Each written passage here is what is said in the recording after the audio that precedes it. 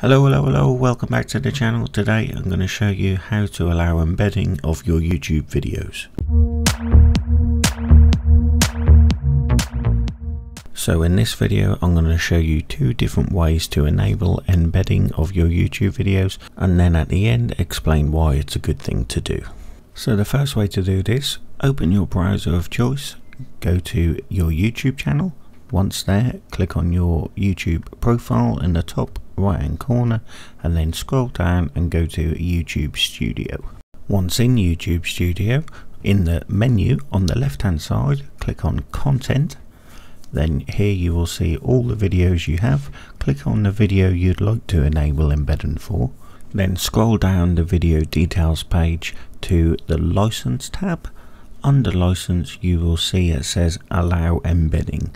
The second way to do this in YouTube Studio is by clicking on playlists on the left hand side, then select a playlist to edit by clicking on the pencil icon. With your chosen playlist loaded, click on the three little dots underneath your playlist description.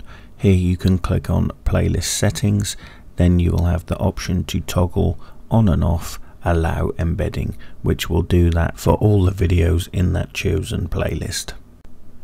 Right, and as promised at the beginning, why enable embedding in the first place? Well, embedding your videos is a good thing to do on your own website or blog because what that'll do is still give you the views on your YouTube channel and potential subscribers. I don't currently have my own website or blog, so I'm going to show you a very good website from Primal Video. They also have a YouTube channel, highly recommended, but I am currently on their website to show you their embedded videos. Here you can see they've done some posts, embedded their YouTube videos so people can watch the videos and read their blog posts without leaving their website and going to the YouTube channel. There is also on the embedded video the option to go to their YouTube channel.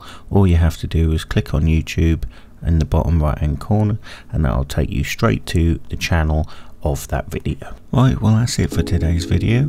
I hope you enjoyed it. If so, please leave a like and comment below and consider hitting the subscribe button for more videos. Thank you.